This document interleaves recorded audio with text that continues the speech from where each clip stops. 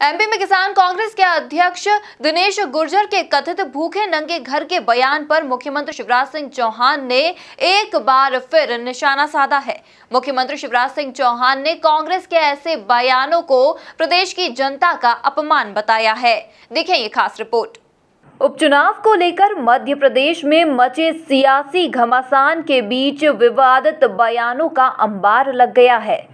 ऐसे में कांग्रेस के निशाने पर खास तौर पर मुख्यमंत्री शिवराज सिंह चौहान है। बुधवार को सीएम शिवराज ने भूखे नंगे घर से और एक्टिंग करने जैसे बयानों पर कमलनाथ और कांग्रेस पर जमकर निशाना साधा। जल जीवन मिशन कार्यक्रम के उपरांत पत्रकारों से चर्चा करते हुए उन्होंने कहा कि वह कभी मुझे नंगा कहते हैं, कभी भूखा कहते हैं, फिर हिसाब लगाते हैं कि उसके पास क्या क्या है। ये प्रदेश की जनता का अपमान है। ऐसा वो कभी मुझे नंगा कहते हैं, कभी मुझे भूखा कहते हैं, फिर हिसाब लगाते हैं क्या क्या है।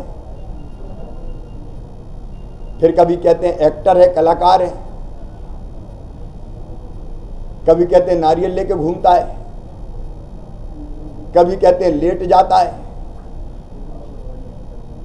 अब मैं क्या करूँ और क्या ना करूँ, ये कमलनाथ जी बता दें मुझे, लेटूं कि बैठूं, नंगा रहूँ कि भूखा रहूँ। कभी संपत्ति गिनाते हैं। ये कांग्रेस की घटिया मानसिकता है।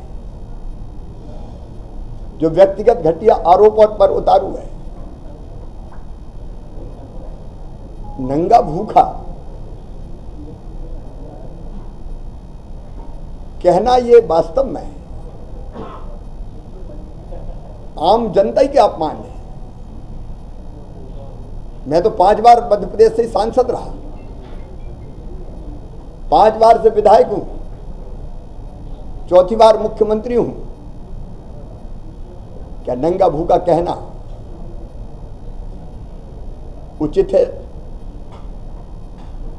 क्या किसी का मज़ाक उड़ाना? एक्टर है। शाहरुख खान को मात करता है। कभी सलमान खान को मैं मात कर देता हूँ कि ये भाषा शैली ठीक है। कभी नारियल ही फोड़ता रहता हूँ। अरे आज ही देख ले कांग्रेस। ये कोरोना काल में 107 नल जल योजनाओं का हमने शिलान्यास किया पैसों के माध्यम से। फ्री में नहीं कर रहे हैं, वो कह रहे हैं, वैसे ही नारियल फोड़ रहे हैं। आठ हज़ार करोड़ रुपए की और नल जल योजना स्वीकृत की है। छह हज़ार के टेंडर हो गए। ये फोकट में नहीं कर रहे हैं, पैसे का इंतज़ाम करके कर रहे हैं।